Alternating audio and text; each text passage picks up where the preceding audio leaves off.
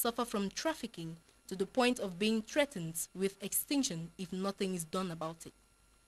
Despite their protection, these animals are still being trafficked. Ignorance of the law is no excuse, so those who violate the wildlife law risk being arrested.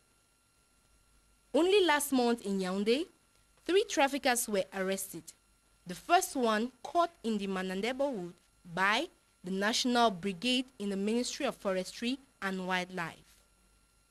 The second, an ivory trafficker, was arrested in the Briqueterie neighborhood.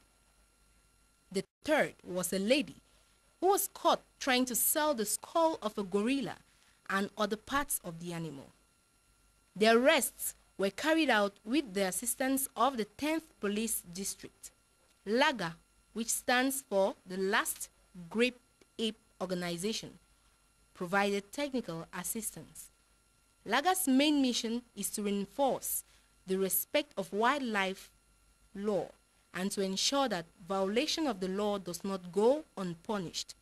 According to the law, anyone found in possession of any part of a protected species is considered to have captured or killed the animal and is liable to a prison term of three years or to pay a fine of up to 10 million francs.